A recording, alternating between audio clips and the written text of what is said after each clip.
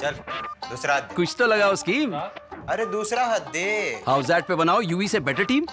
ओए ओए क्या कर रहा है? तेरी टीम चेक कर रहा हूँ। छोड़ यार और जीतो पाँच गुना रिवॉर्ड्स तो बेटा house that house that this game involve financial risk and may be addictive please play responsibly at your own risk. Good morning everyone and welcome back to sports Tak morning with sports Tak में एक बार फिर से आप सबका स्वागत है और Chennai super Kings के जो फैंस हैं, उनको सबसे पहले बहुत बहुत मुबारक, क्योंकि चेन्नई एक्सप्रेस ने एक बार फिर से अपनी रफ्तार पकड़ ली है। कल था मैच चेन्नई का राजस्थान के साथ और 45 रनों के साथ चेन्नई ने अपना मैच जीत लिया है और फाइनली अब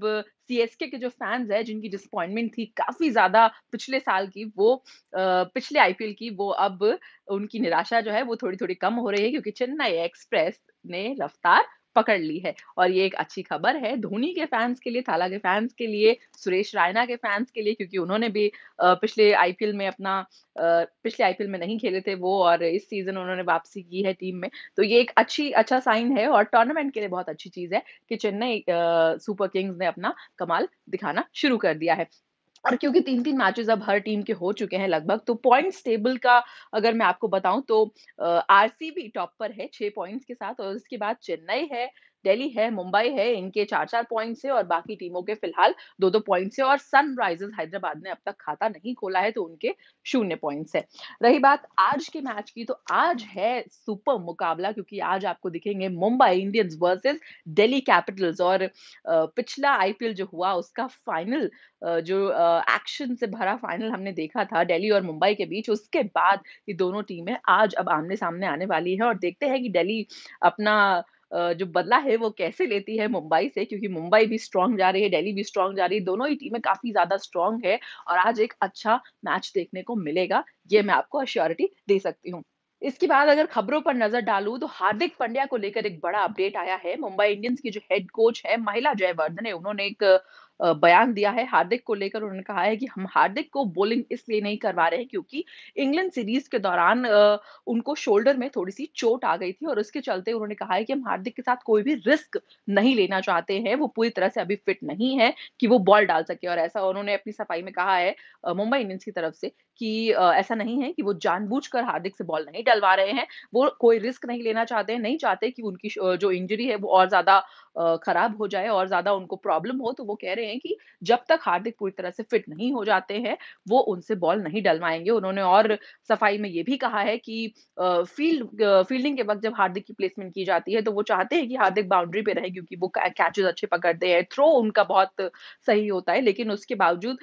वो वहाँ पर उनको प्लेस नहीं कर रहे हैं बाउंड्री पर क्योंकि वो हार्दिक के साथ कोई रिस्क नहीं लेना चाहते हैं कि उनकी शोल्डर की जो इंजरी है, वो और ज़्यादा खराब हो जाए। तो इसके चलते हार्दिक पांड्या आपको बॉल करते हुए दिखाई नहीं दे रहे हैं। ज़्यादा ये उन्होंने एक अपडेट दी है। इसके बाद आईपीएल पर ही दूसरी अपडेट है कि एबी डिविलियर्स जिस तरह से शानदार परफॉर्मेंस कर रहे हैं एक के बाद एक मैच में आरसीबी के लिए अब ए बी डिविलियर्स के लिए मांग उठने लगी है कि उनको साउथ अफ्रीकन टीम में वापस लाया जाए। टी ट्वेंटी वर्ल्ड कप के लिए। और अच्छी बात यह है कि ए बी डिविलियर्स अब ये मांग उठाई किसने? पहले ये बता दूँ जमाइका के एक स्प्रिंटर हैं, योहान, उन्होंने ये मांग उठाई है कि ए बी डिविलियर्स क्या प्लेयर है और उनको वापसी कर लेनी चाहिए। अब साउथ अफ्रीका टीम में उन्होंने कहा है बोर्ड को कि इस प्लेयर की आपको ज़रूरत है टी ट्वेंटी वर्ल्ड कप के लिए। और उन्होंने ट्वीट किया था और जो काफ़ी ज़्यादा वायरल हो गया है और जो फैंस ने भी, यानी आप लोगों ने भी खूब सपोर्ट किया है उस फैसले को। और एबी डिविलियर्स अच्छी बात यह है कि एबी डिविलियर्स ने भी ये कहा था कि वो अपने रिटायरमेंट को छोड़कर वापसी कर सकते हैं अगर साउथ अफ्रीका को उनकी ज़रूरत होती है टी ट्वेंटी वर्ल्ड कप की और अभी फ़िलहाल जो आरसीबी के फैंस है वो खूब इंजॉय कर रहे हैं एबीडी शो लेकिन अगर एबी डिविलियर्स यही परफॉर्मेंस अपनी टी ट्वेंटी वर्ल्ड कप में दिखाएँगे इंडिया के अगेंस्ट तो हमें बिल्कुल भी अच्छा नहीं लगेगा शायद। उसके बाद एक और अपडेट है, सनराइजर्स, हैदराबाद के सपोर्ट स्टाफ और क्रिकेट लेजेंड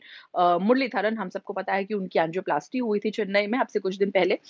अब अच्छी खबर ये है कि वो पूरी तरह से फिट है और हॉस्पिटल से फ़िलहाल उनको डिस्चार्ज कर दिया गया है। बाकी उनको अपनी, अपना ख्याल रखने की आगे भी ज़रूरत है, लेकिन हॉस्पिटल से अब वो डिस्चार्ज हो गए हैं। और उसके बाद स्पोर्ट्स तक पे कल आपने एक अपडेट देखा होगा। आईसीसी वर्ल्ड टेस्ट चैंपियनशिप को लेकर एक बहुत बड़ा अपडेट है कि जो फाइनल खेला जाना है, उसमें थोड़ा सा एक क्वेश्चन मार्क आ गया है क्योंकि यूके की जो गवर्नमेंट है, उन्होंने अब कोविड के चलते, क्योंकि इंडिया में लगातार इतने कोरोना के केसेस बढ़ रहे हैं, उसके चलते उन्होंने अब ये कर दिया है कि कोई भी इंडियन अब यूके में अलाउ नहीं किया जाएगा जब तक हालात सुधर नहीं जाते हैं। हालाँकि अभी कुछ टाइम है वर्ल्ड टेस्ट चैंपियनशिप के फाइनल में, लेकिन अ, अगर ये हालात नहीं सुधरते हैं तो फिर क्या होता है उस पर अब देखना होगा क्योंकि आईसीसी ने बोला है कि वो बात करने की कोशिश कर रहे हैं यूके गवर्नमेंट से और कोशिश करेंगे कि जो बायो बबल में प्लेयर्स हैं क्रिकेटर्स हैं, उनको वो बायो बबल या तो कंटिन्यू करते हुए वहाँ पर ले जाया जाए या फिर जो भी पॉसिबल हो वो कुछ अरेंज किया जाए क्योंकि वर्ल्ड टेस्ट चैंपियनशिप का फाइनल तो होना ज़रूरी है और आपको याद होगा कि इंग्लैंड ने ही इसकी शुरुआत भी की थी बायो बबल में क्रिकेट खेलने की और अब देखते हैं क्या कुछ इस पर अपडेट आता है लेकिन ये अच्छी खबर नहीं है बिल्कुल भी क्योंकि हम सब कितनी बेसब्री से इंतज़ार कर रहे हैं आईसीसी वर्ल्ड टेस्ट चैंपियनशिप के फाइनल का इतनी मेहनत के बाद, इतनी जद्दोजहद के बाद इंडिया ने अपनी जगह वहाँ पर बनाई है और अगर उस फाइनल पे कुछ आ जाता है तो अच्छा नहीं लगेगा वो। लेकिन ख़ैर अभी ऐसी कोई बात नहीं है। अब देखते हैं कि आईसीसी इस पर क्या कुछ आगे फैसला लेती है, क्या वो कन्विंस कर पाते हैं यूके गवर्नमेंट को या नहीं। और इस पे जो भी अपडेट होगी वो स्पोर्ट्स तक पे आपको हम फटाफट देते रहेंगे सबसे पहले और सबसे सही, ये याद रखिएगा। उसके बाद इंडियन ओपन जो हम सबको पता है कि होना था और ये टोक्यो ओलंपिक से पहले कुछ आखिरी के जो क्वालिफाइंग इवेंट्स होते हैं, उनमें से एक है और लेकिन अब ये कोविड के चलते अगेन पोस्टपोन कर दिया गया है इसको भी और अब देखते हैं कि इसको कब आगे कैसे करवाया जाता है, इसकी भी अपडेट जैसे ही आएगी कोई वो आपको मिलेगी स्पोर्ट्स तक पे और एक आखिरी खबर कि रॉजर फेडर रॉजर फेडरर ने अपना पार्टिसिपेशन जो है वो कंफर्म कर दिया है इस साल के फ्रेंच ओपन के लिए। तो ये एक बुरी खबरों में एक अच्छी खबर है कि रॉजर फेडरर ने अपना नाम दे दिया है फ्रेंच ओपन के लिए, तो वो खेलते हुए आपको दिखाई देंगे। ये थी कुछ आज की अपडेट्स जो आपको अखबार में दिखाई देंगी। न्यूज़पेपर सेगमेंट है ये, जिन्होंने अभी पहली बार देखा है आज ये वीडियो उनको मैं बता दूँ कि इसमें जो भी खबरें होती है अखबार में स्पोर्ट्स जुड़ी हुई वो मैं इस वीडियो में आपको जल्दी से आकर रोज़ सुबह बता देती हूँ ताकि आपको यहाँ-वहाँ कहीं जाना ना पड़े और सारी अपडेट्स मिल जाए और सही मिल जाए तो